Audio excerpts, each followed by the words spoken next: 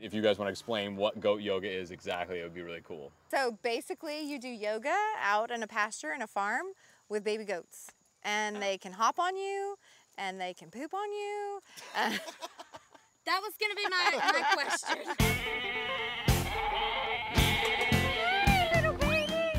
Oh, poopy on the mat. oh, come on, man.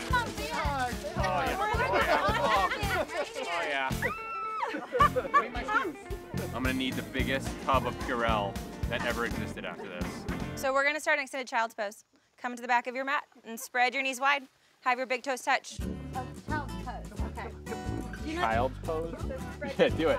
I, how is this relaxing? How is this relaxing? I feel like I'm in Spain at the running of the oh bulls. Gosh! What the hell have we got? Oh my god! Ooh, that's nice. What's going on?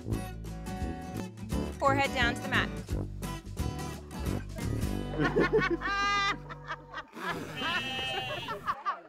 Gently rock your forehead from side to side. And on an exhale, round your spine and tuck your chin, pressing away from the ground with your palms. A little lower, a little lower. Oh my gosh, there's two on your back, Ben. Yeah, yeah, yeah. Up towards the sky. Totally and then your relaxed. Left leg back behind you. Inhale it back out. Exhale, draw it in. Just a little distracted. Oh, God. Every time, it's like the first time. I'm gonna have to shower before we go to dinner. So spread your hands wide. I'm not even here for the yoga. I'm just here for the goat. I just want you to know this is second base, and I usually don't give it up that fast to goats I just meet, but you know what? You're special. Hi. What's your name?